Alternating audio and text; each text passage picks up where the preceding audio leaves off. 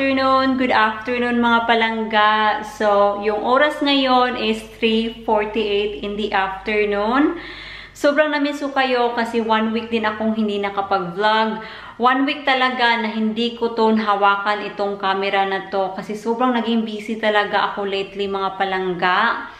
And meron naman ako mga vlog, meron ako mga clips pero dahil sa sobrang busy ko nga, hindi ko na malala kung ano yung mga vlog ko that day from the previous week. So, kailangan ko siyang i-edit para ma-remind ko yung sarili ko kung ano yung ginawa ko from that week.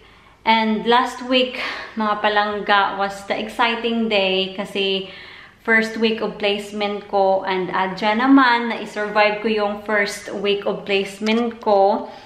Yung Placement naman, sobrang babait na mga katrabaho ko, yung mga tao, sobrang babait nila. And, hello! He's home! He been to Tesco to get something.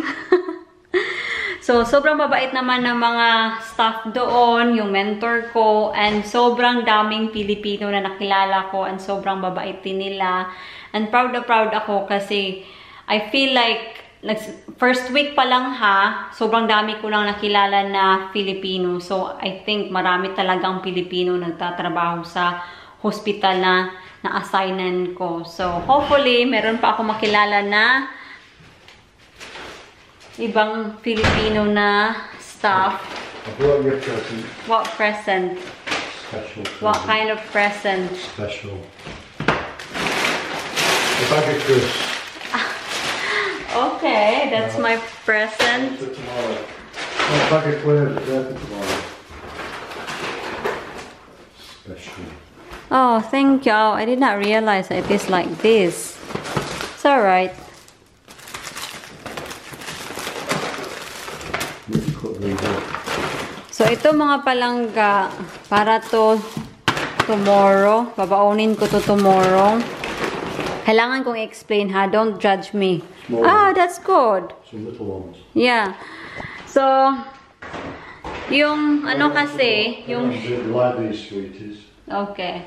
Yung shift ko kasi last week was Wednesday, Thursday, no, Monday, ay, induction namin, and then Wednesday and Thursday, hospital duty, and then Saturday and Sunday, hospital din. So, Saturday and Sunday, long days siya mga palangga. 7 in the morning until 8 in the evening. So, kahapon, sobrang pagod talaga. Sobrang pagod ko mga palangga. Until now, pagod na pagod ako. Nafe-feel ko na sumasakit yung dito ko. oh. And John is home alone. Nasanay kasi siya kasi, of course. Right, I'll just go on there and take it, kick her out. Okay. And then uh, I need to come in there, sort some of all the trails. Oh, good. Kasi nasanay kasi si Mr. 'di ba? I finished my job sa care home. Hindi naman talaga ako yung nag-finish. But napaaga yung tapos ko sa trabaho, July, kasi nag-close down yung care home. And then, nagsimula yung klase namin sa September, 20 of September. So, of course, between that date, parang yung katawan ko naging relax.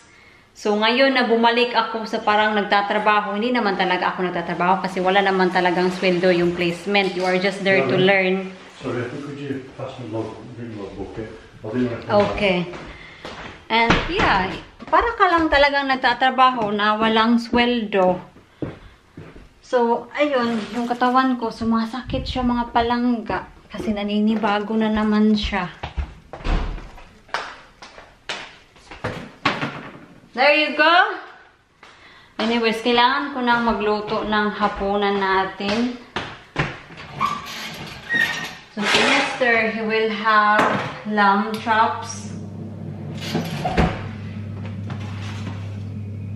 Hindi ko mahanap yung tripod ko mga palangga. So, I don't know where it is. Kaya sumasakit yung ano ko, kamay, gripping the camera. Tingnan nyo to. Patatas. Ang laki-laki nito ha. Um, yung kaibigan ni Mr. na farmer, nagbigay na naman ng isang sakong patatas. Ang kaka-open ko lang, ano ito, ibang laki. Brown na siya. Yan na, oh. That's what we wanted. Ilalagay ko na siya sa oven. We have a new discovery. Na-discover lang namin na meron pala kaming ice cube maker here from the old fridge. I never even knew we had it. Well, I knew we had it. I didn't know it was. I never owned it. Mister, it's too late now. Late now. The fridge is You gone. could keep it for making extra ice cube. So ito, galing to sa dog kennel. Doon, nilagay namin sila temporarily doon. And ngayon, dahil winter na, ilalagay namin ulit sa loft. Medyo ano sila dump. Kasi ito, nilagay namin to sa greenhouse. Kaya ayun. I will. Lock the door. So that no stranger could come in. Nahanap ko na pala yung tripod ko. Yay! Yan oh. Kasi hinahanap ko to noong nakarang araw. Hindi ko mahanap. Inaiwan ko pala siya sa ano ko, sa sasakyan. Kaya ito. I'm so happy na I found this. Grabe oh. Tingnan niyo yung mata ko. Sobrang dark, 'di ba? Pagod talaga mga palangga. And tomorrow na naman, Thursday and Friday. Ano na naman yung or, ano ko, trabaho. Tagto 12 hours. Well, placement. That's what I mean. So today mga palangga is the day na mamimili tayo ng Christmas tree. Feeling ko sobrang late natin na mag-decorate ng mga Christmas decoration for this Christmas. But well, sobrang naging busy ko and plano sana namin talaga na i-pick yung Christmas tree last week. Kaso, nag-snow, so hindi natuloy. And ngayon lang ako nagka-day off. So ito, we're going to pick the Christmas tree before na umulan kasi nag-forecast kasi na umula, uulan daw. Pasensyahan nyo na ha, parang groggy ako kasi kakagising ko lang talaga and Thursday and Friday ang shift ko puros long days 7 in the morning until 8 kaya ito medyo pagod but we need to try to be productive today mag-edit, mag-assignment hello mister Let's go. Hello, Pipa. Good morning. Hello. Look at her. Hello, Peep. Let's go. Which one? Nice bushy one. Nice bushy one. Take a pic, Pipa. Which is your favorite?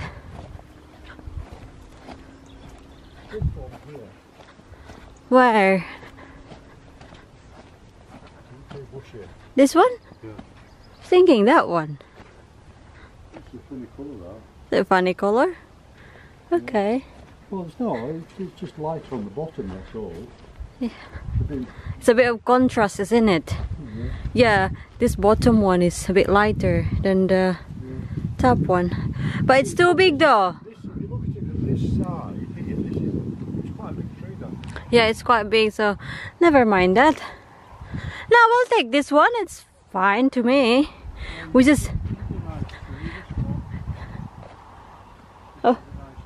What we do is we're just gonna trim this down here in the bottom so that it will even out. Yeah? Yeah? We're just gonna trim the bottom, like cut this a bit here Could. Yeah. so that it will even out. Yeah? Well, there's that. Well, there's that choice of that one. Right. Oh.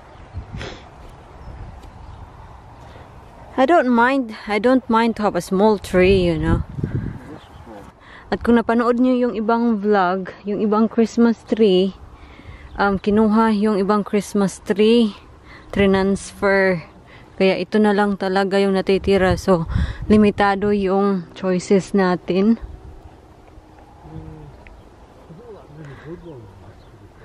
Why this is weird? Many. I see.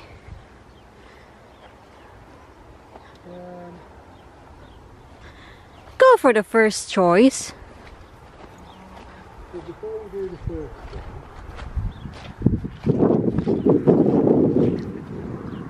Mm-hmm. Yeah, I think go that one then. Yeah? It's full even, right? That. Well, let's look at you first.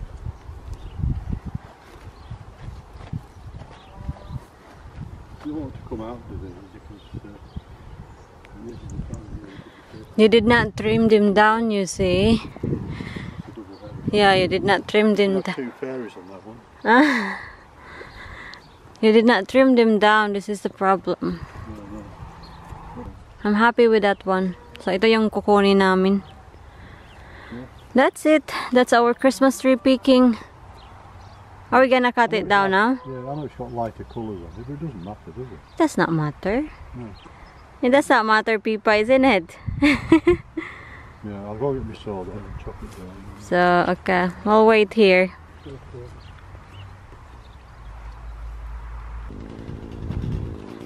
Sabi ni Mr. na meron daw siyang nakita na magandang Christmas tree. This one?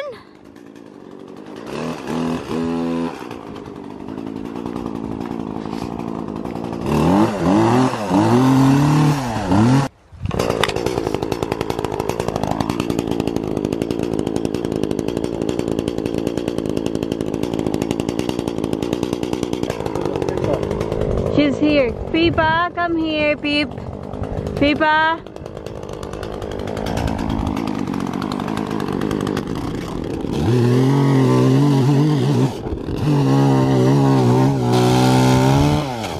It's down.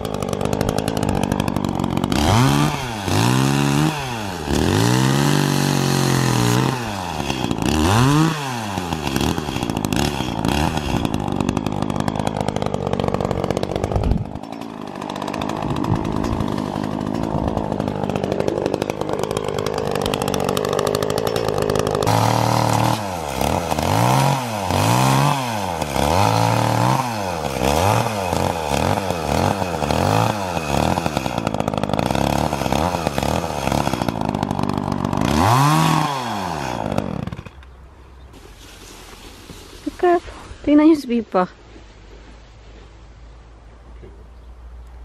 isn't it? She's enjoying it. Let's go, Pipa.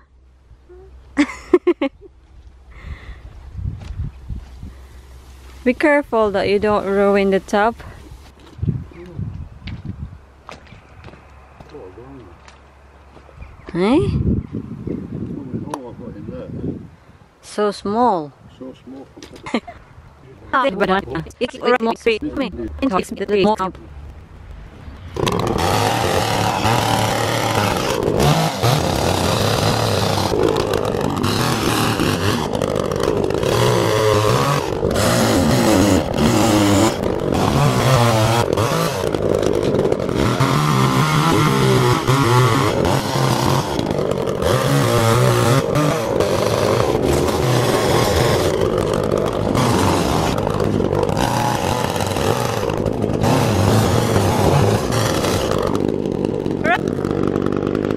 Not quite.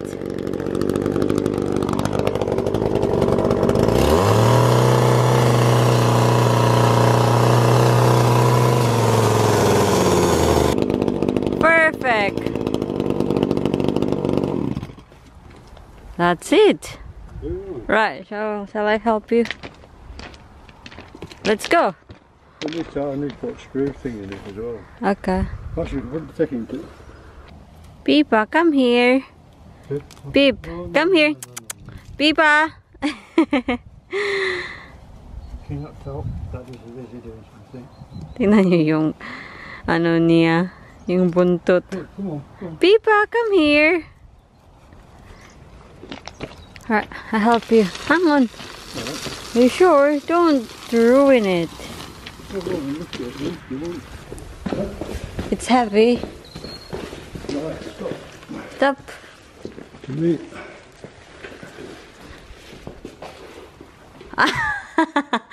It's it's standing up, but it's not straight. It's leaning. So bago namin to dalhin sa bahay, titrim muna namin to kasi yan oh. Kailangan siyang gupitan ng kaunti. So ito yung harapan niya and ito yung likuran. Kasi hindi kasi siya masyadong even out dito sa likod. So, okay lang yan kasi hindi naman yan makikita. Right, so we want?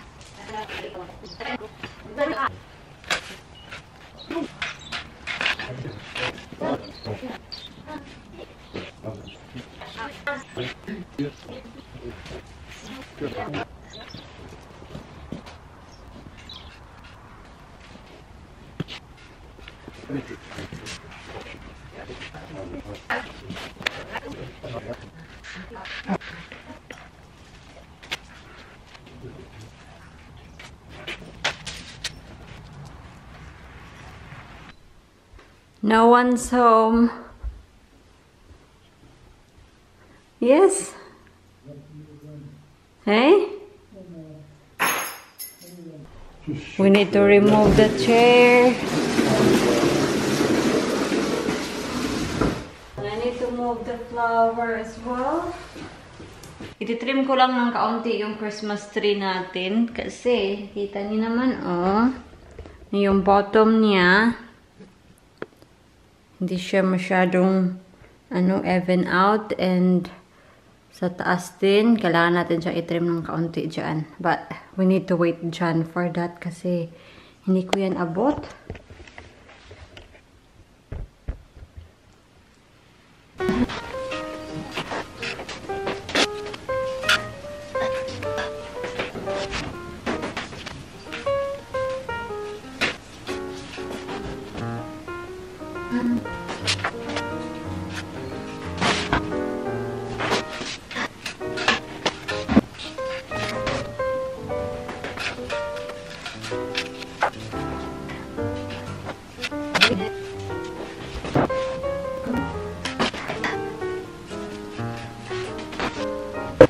Música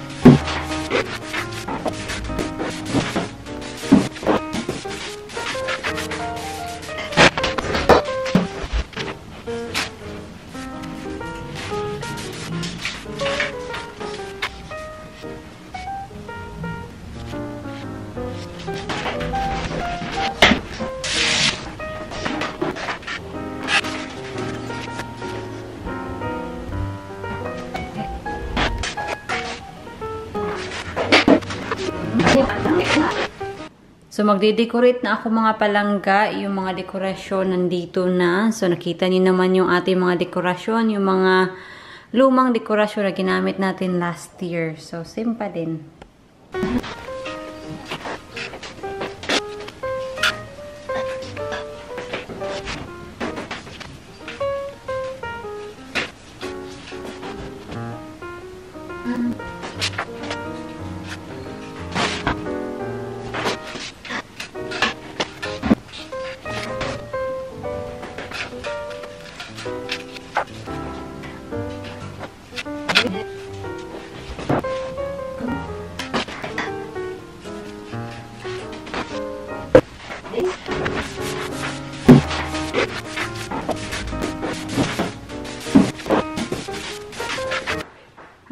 Halfway mga palangga and ngayon ko lang na-realize na nakalimutan ko palang ilagay yung lights. She forgot to put the lights on. He's laughing at me. Kalimutan ko talaga. So, we will try na ilagay yung lights without taking them off kasi I can't be bothered talaga na nakunin lahat sila and then ilagay yung lights and put them back. So, hopefully we can manage. I'm sure we can manage.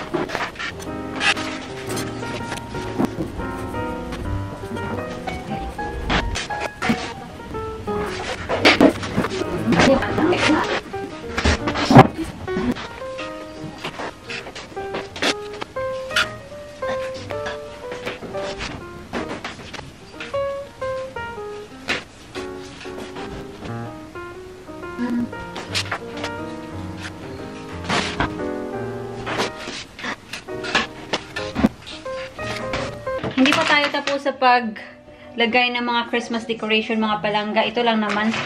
Ito na yung last. Yan, last na ilalagay natin. Um, I have this last year, pero hindi ko siya nasabit. Kaya, ngayon ko lang to nagamit talaga. So, ang plano ko, ilalagay namin dito sa labas. So, hintayin natin si Mr. Natulungan tayo. So, for this year, yan lang yung parang additional natin. Kasi, ito, nakita niyo naman to. Yan. Yan yung mga Christmas lights natin. Yan. Nakita niyo na to. Oops, bakit ang puti-puti? Yan.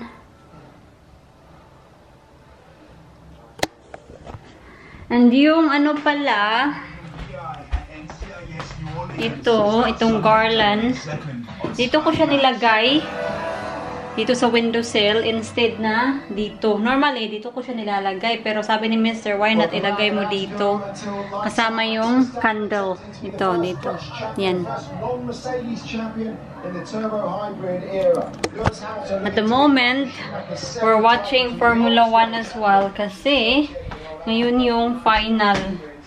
So, it's either Verstappen or Hamilton yung mananalo kasi equal points talaga sila. And si Hamilton, he will start second sa grid. And si Verstappen first siya. So, very close fight. So, good luck to both of them. To all the drivers.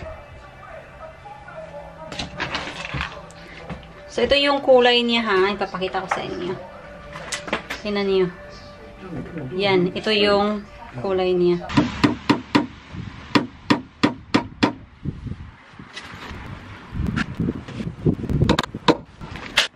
Ay, let's wait.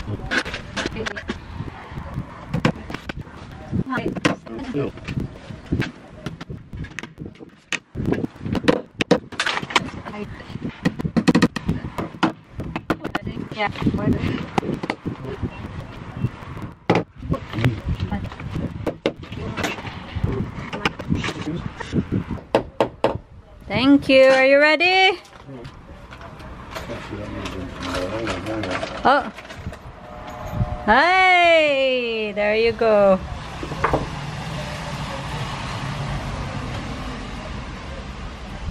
Hindi niyo siya masyadong makita kasi of course it's daylight.